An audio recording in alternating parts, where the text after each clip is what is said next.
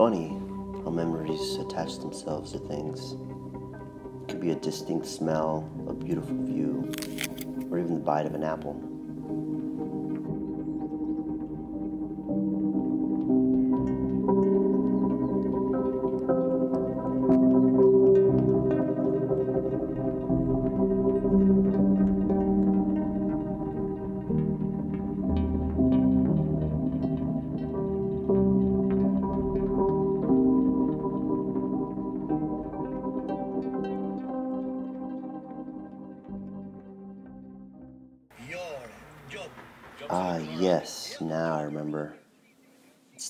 And soul of Kavaja that wanders through my mind.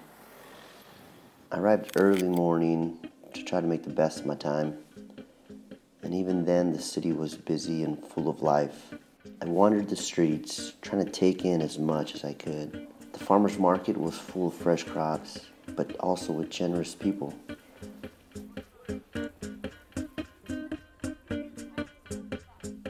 A man I encountered welcomed me to town and offered me an apple as a kind of gesture. Yosef was his name. Thank you, Yosef.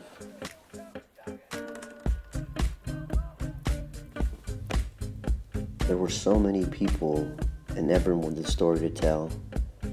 If only I had the time to dig a little deeper.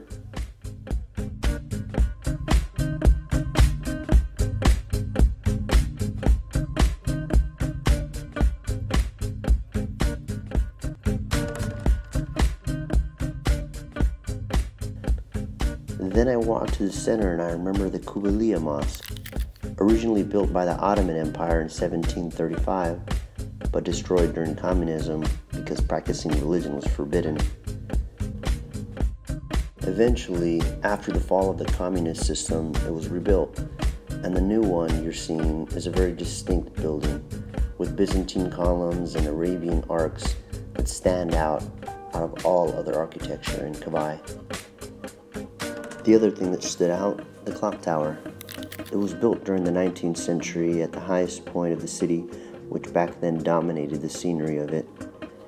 It has been built with pumice stones and has carvings. The inside there are wooden stairs and there is also a sundial at the top which used to synchronize with the sound bell. Now it doesn't work anymore, but still the building itself is a sight to see.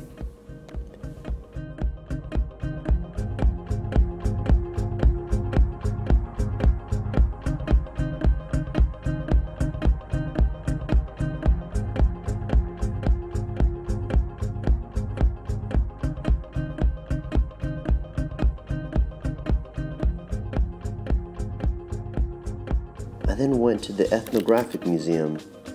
This is how a typical civil building in Kavaja used to look like.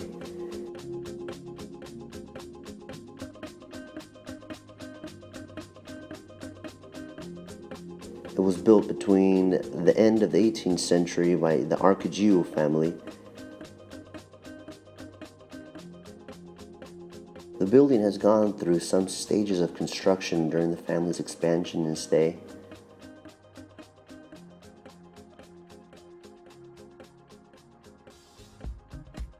But in 1971, it was turned into today's ethnographic museum, filled with various objects and folkloristic clothes and various periods of time.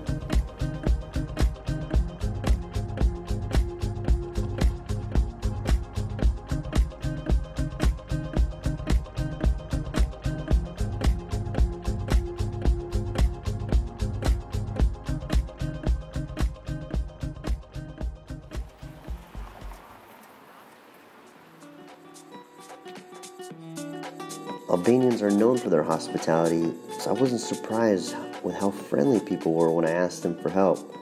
And I was hungry, so I asked one guy for a place to eat, and he suggested me Pocheria Vieter.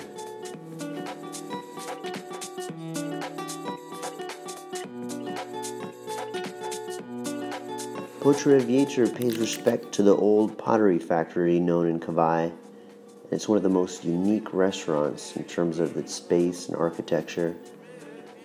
Let's say it has a traditional and at the same time industrial design. which makes it unique and welcoming. And the food is really good and reasonably priced. It's a mix of Italian and Albanian cuisine, which makes for a variety of plates and flavors. The glass of wine I got was not planned, but they were kind enough to give me one.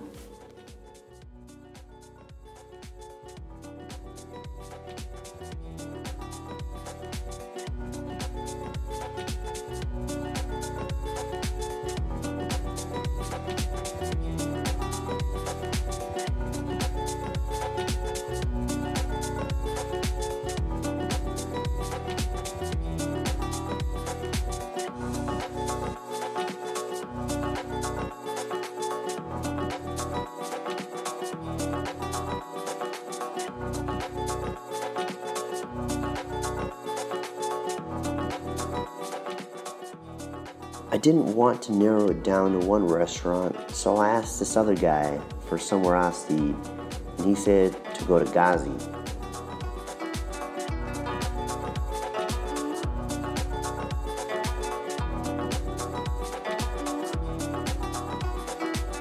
Now, Ghazi might be the most famous restaurant in Kavaja. It is named after the restaurant owner who decided to include a modern touch of architecture and design into his place. They focus on seafood dishes with very reasonable prices. It's a nice little restaurant tucked away near the center of town, which makes it very easy to get to.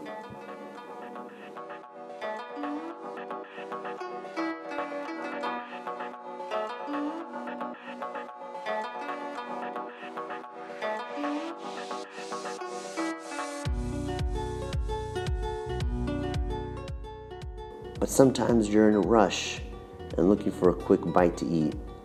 You can never go wrong with a souflach, especially if you stop by Ziku's. He always takes care of you and makes you feel like family.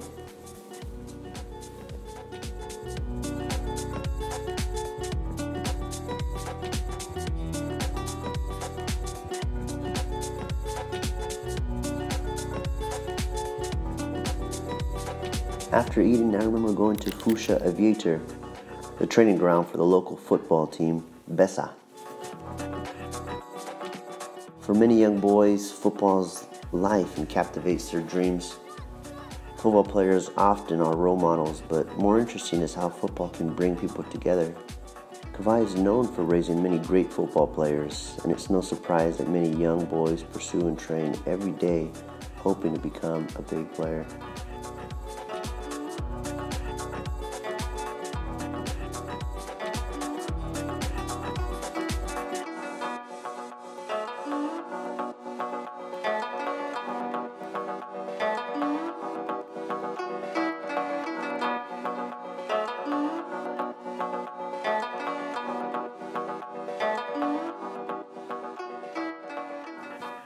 Now, I can't just talk about the city.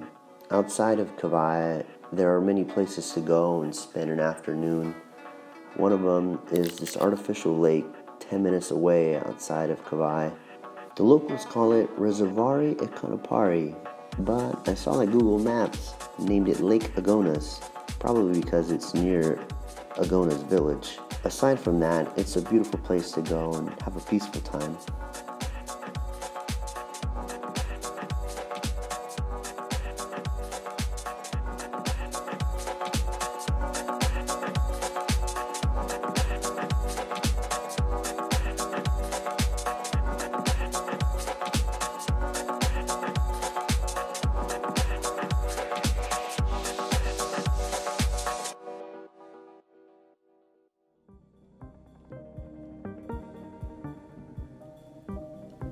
Some other great spot, I remember the Bashtova Fortress, a 30 minute drive from the city, and I remember it fondly because walking through the fortress was like a walk through history.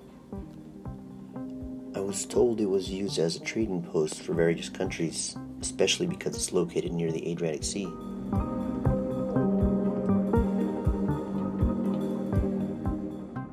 I did wonder what it was like during that time. Were there ever disagreements amongst the traders? Did any travelers find love here?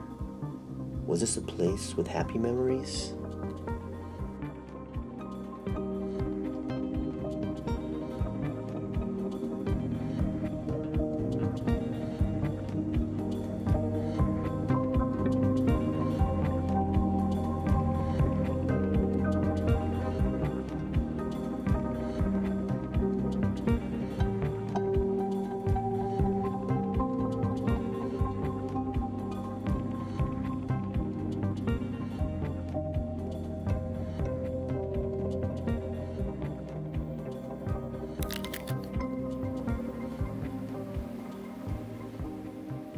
Kavaja is only about 5 kilometers or 3 miles from the shore of the Adriatic Sea. A light jog, bike ride, or a quick furgon trip makes it easy to take in the beauty of the sea and relax.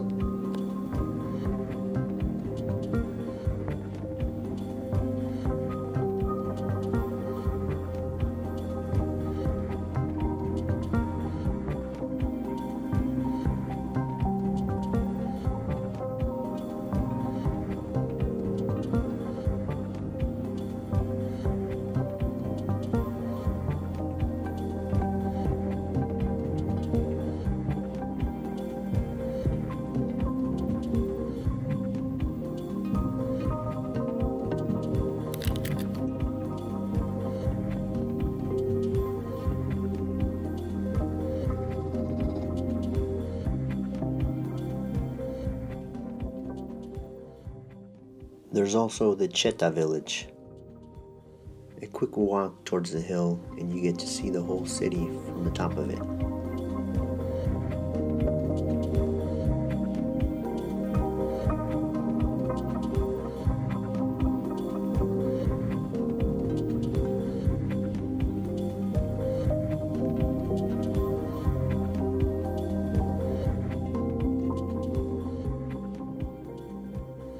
Turn around, you get to see this beautiful artificial lake.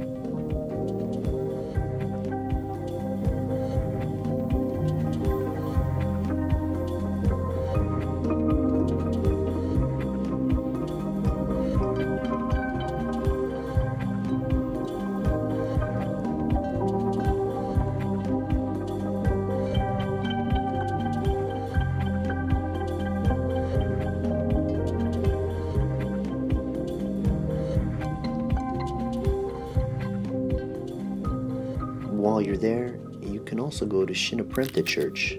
Albania is generally known for its religious tolerance. Although Kavaja is predominantly Islamic, people are respectful of others' religious beliefs and people live in harmony.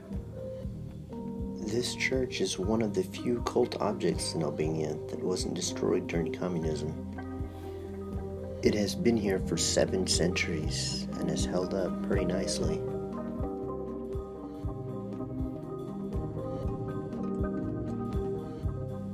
As the day came to an end, I can remember thinking how there was so much to see and do in town. It's hard to believe I was only there for such a short amount of time.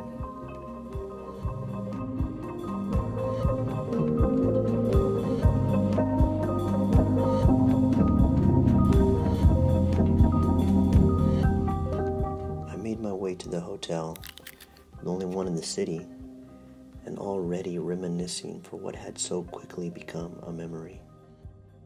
But it's a warm feeling to know that such a beautiful place can exist simply in the palm of my hand.